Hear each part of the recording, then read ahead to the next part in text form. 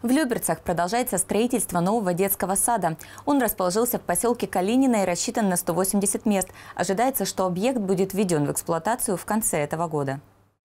Строительство детского сада на улице поселок Калинина началось в декабре прошлого года. Для того, чтобы возвести дошкольное учреждение, на этом месте снесли два аварийных дома. Ход проводимых работ лично контролирует Владимир Ужицкий. На протяжении всего года он неоднократно проверял процесс строительства. Сейчас, когда социально значимый объект практически готов к открытию, глава округа вновь проинспектировал его. Мы ставим задачу, чтобы садик был открыт в первой половине декабря. То есть, э, в принципе, здесь э, все на выходе.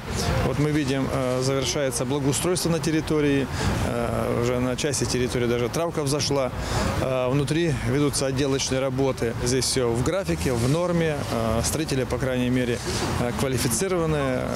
Мы их достаточно давно знаем, они профессиональные. В ближайшее время после завершения отделочных работ в детский сад завезут мебель и необходимое оборудование. Здесь обустроят помещения для музыкальных занятий за студию, а также тренажерные и спортивные залы. Что касается штата сотрудников, то коллектив детского сада укомплектован на 60%. Напомню, дошкольное учреждение рассчитано на 180 мест. В нем будут работать три ясельные группы. Это позволит разгрузить очередь детей от полутора до трех лет. Луиза Игиазарян, Никита Скраган, телеканал ЛРТ.